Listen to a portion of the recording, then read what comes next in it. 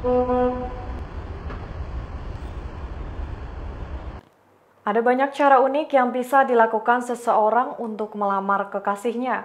Seperti kali ini, seorang wanita bernama Maya Eka Wijayanti dilamar kekasihnya lewat iklan baliho yang dipasang di Jalan Pemuda. Baliho itu lantas menarik perhatian dari warga sekitar.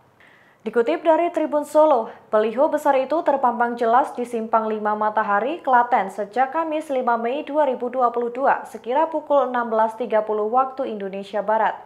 Di baliho tersebut tertulis nama Maya Eka Wijayanti, mau gak jadi istriku alias Will you marry me?